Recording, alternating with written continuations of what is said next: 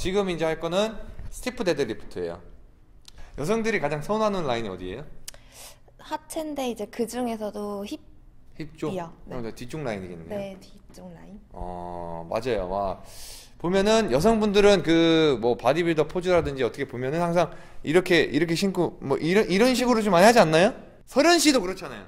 네, 맞아요. 맞아 이렇게 하잖아. 아 맞잖아. 내가 틀려? 아니 이렇게, 하잖아요, 그렇죠? 네, 맞아요. 맞아요. 서른 포즈잖아요. 예? 손을 뭐라고요? 다 피셔야 돼요. 손을 다 피워야 된다고 네. 어디요?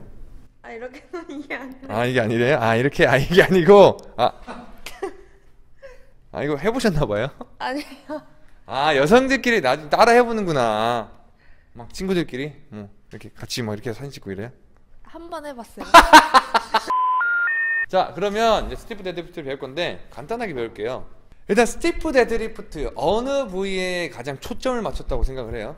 뒤쪽 허벅지. 그렇죠. 그렇죠. 네. 대퇴 이두와 둔근 그리고 크게는 이제 유연성이 좀 없으신 분들에는 크게는 척추 기립근에 많이 가는데 여성분들 대개는 유연하기 때문에 좀 부하가 잘 안 갈 수 있어요. 그걸 좀 제- 제가 좀 극대화시킬 수 있는 거좀 말씀드릴 거예요. 자, 그럼 이걸 한번 들어볼게요. 이거 듣고 한번 해볼게요. 자세를 제가 일단 확인을 해볼 텐데 자, 5회 정도만 보여주세요. 자, 하나, 둘,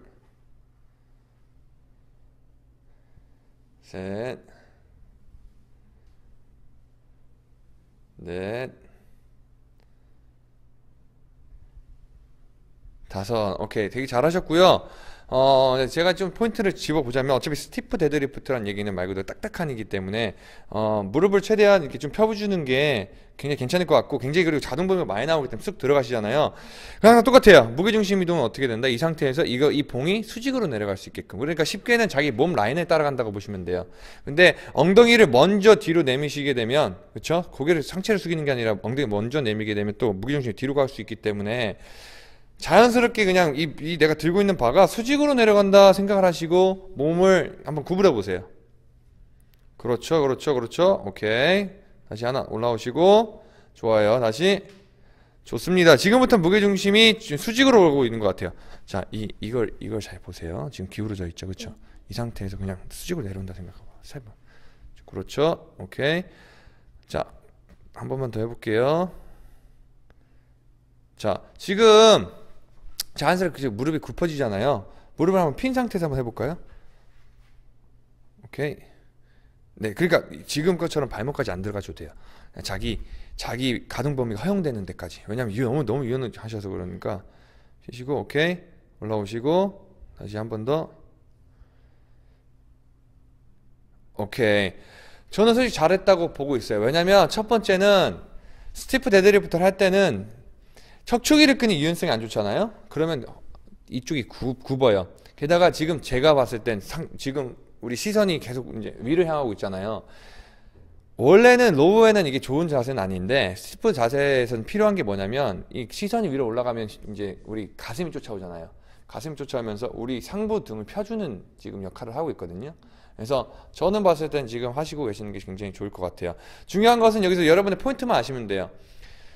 무릎을 많이 이제 시- 지금 무릎을 신전시켰느냐, 그러니까 이제 폈느냐, 게다가 척추기립근의 이게 척추기립근의 모양새 변화 이게 둥그러졌느냐, 혹은 상부등이 구부러졌느냐인데 말 그대로 그냥 시선을 앞에 두고 이걸 계속 바라보면서 옆에 발을 들은 무게중심이 이제 수직으로 내려오면 돼요. 근데 저희가 좀 더 극대화시킬 수 있는 방법을 말씀드릴게요.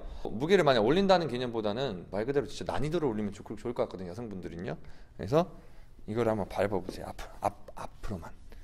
그렇죠. 이걸 이렇게 좀 밟아보세요. 지금 같은 경우에는 저희가 일부러 다리를 올리, 앞발을 올리게 된 거거든요. 이 상태에서 한번 아까처럼 한번 해보세요. 3회만. 자, 하나, 둘, 하나만 더, 셋. 자, 아까랑 좀 부하 차이가 좀 있나요? 어, 뒤쪽 허벅지에 조금 더 당기는 것 그렇죠. 같아요. 많이 땡겨요. 이렇게 난이도를 올리시다가 우리 천천히 올리시면 될 것 같은데 말 그대로 펌프 운동을 한번 해볼게요. 이 운동을 하시고 나서 이제 좀 더 저희가 가장 펌핑이 많이 되는 부분이 어디겠어요? 한번 내려가 보세요. 저- 여기서 좀 올라오실 때 더 올라가 보세요. 여기까지입니다. 짧게 가동 범위 이 구간 방법을 한번 20회만 해볼게요. 한번 해보세요. 하나 리듬 있게 장상 리듬 있게 둘 셋 그쵸? 넷 다섯 여섯. 자 지금 보시면 일곱 여덟 네 아홉 열. 열 개만 더 해보세요. 둘 넷 자 셋 넷. 좋아요. 다섯 여섯. 자 페달링처럼 일곱 여덟. 좋아요. 아홉. 마지막 열. 오케이. 자 어떠셨어요? 어, 약간 찢어질 것 같아요. 아 찢어지면 안 돼요.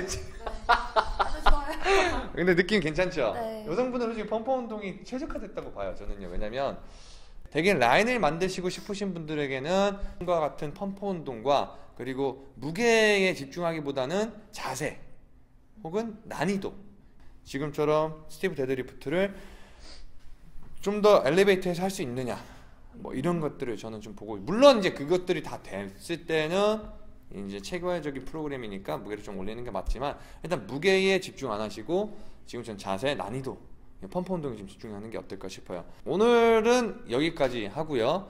그 다음에 여러분들에게 도움될 수 있는 이제 스케줄을 짜드릴게요. 상체 하체로 나눠 드릴 건데 이것을 주 한 4일 정도만 하시면 어떨까 싶습니다. 그래서 한번 같이 한번 해볼게요